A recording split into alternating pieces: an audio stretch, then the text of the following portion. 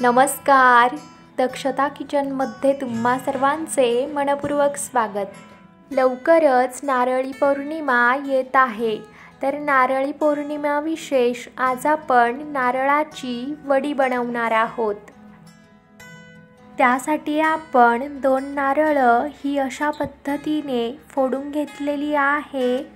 या नारळाला जी सालं असतात ती सालंही काढून घ्यायची. म्हणजे ही आपली बर्फी छान सफेद बनते. आता हे नारळ आपण किसणीच्या मदतीने किसून घेतोय.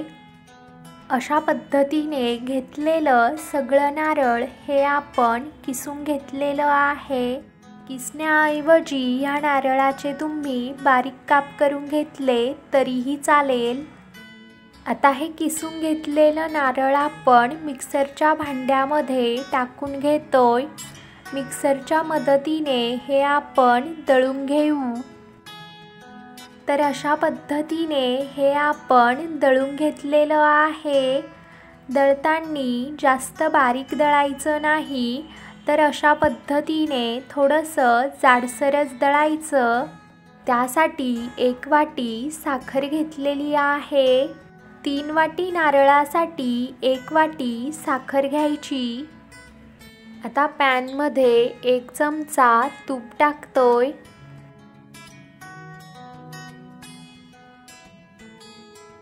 आता यामध्ये बारीक करून घेतलेलं नारळ टाकतोय.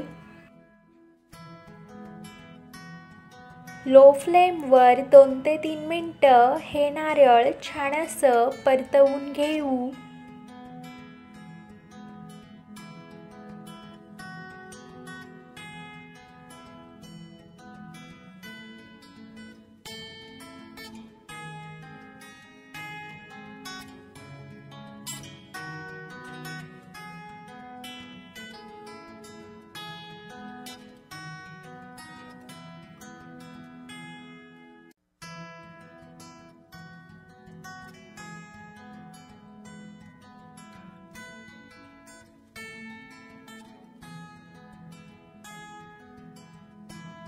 दोन ते तीन मिनटं हे नारळ छान असं परतवल्यानंतर यामध्ये घेतलेली एक वाटी साखर टाकून घेतोय.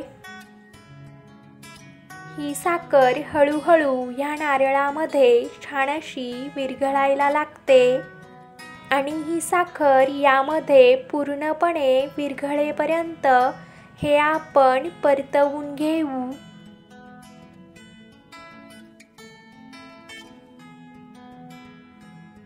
यामध्ये बारीक करून घेतलेल्या दोन ते तीन वेलच्या टाकतोय. वेलचीमुळे छान सुगंध येतो.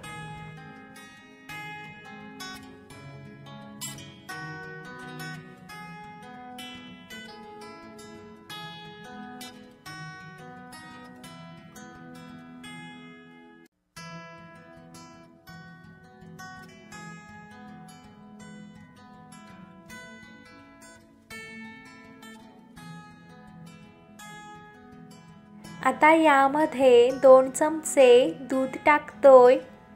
तुमचं मिश्रण हे जर जास्त ओलसर वाटत असेल तर हे दूध नाही टाकलं तरीही चालेल.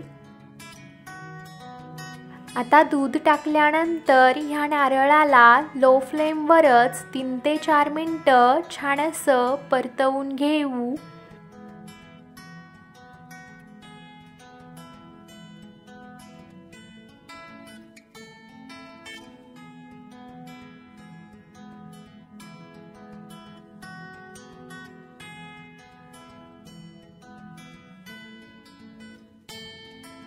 हळूहळू हे मिश्रण छानसं अशा पद्धतीने घट्ट होत जातं.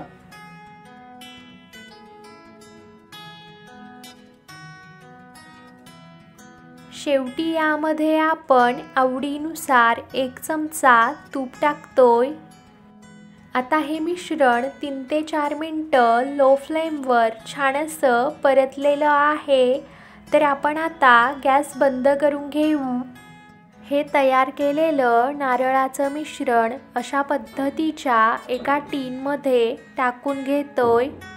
या टीनला तेल किंवा तूप लावून घ्यायचं. तुमच्याकडे अशा पद्धतीचा टीन नसेल तर याऐवजी तुम्ही एखाद्या डब्यामध्ये किंवा ताटामध्ये हे मिश्रण सेट व्हायला ठेवू शकता. चमच्याच्या मदतीने याला व्यवस्थित असा चौकनी आकार देतोय. ही बर्फी तुम्हाला जितकी जाड किंवा पातळ बनवायची असेल त्यानुसार हे मिश्रण तुम्ही कमी किंवा जास्त पसरवा. आता पंधरा ते वीस मिनटं ह्या मिश्रणाला आपण सेट होऊ देऊ. ह्या मिश्रणाला ठेवून पंधरा मिनटं झालेली आहे. तर आपण आता ह्या वड्या आवडीनुसार कट करून घेऊ. तुम्ही तुमच्या आवडीनुसार ही बर्फी छोट्या किंवा मोठ्या आकारामध्ये कट करा.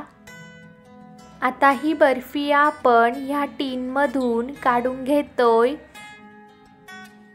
अगदी परफेक्ट अशी तयार झालेली आहे ही बर्फी.